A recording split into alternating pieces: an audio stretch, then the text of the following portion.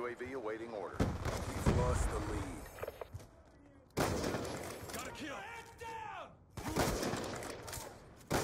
Taking control. Oh, I'm not used to playing Team Deathmatch so my accuracy is stuff. UAV on standby.